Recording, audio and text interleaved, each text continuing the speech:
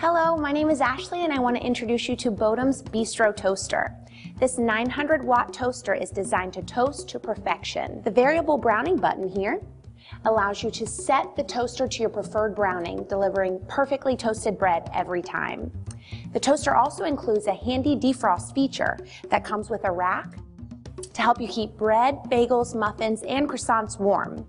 The toaster also features a slide out crumb tray here for easy cleanup, and also a cord retainer to adjust or store the cable away. Change up your morning routine by using this fun and colorful bistro toaster.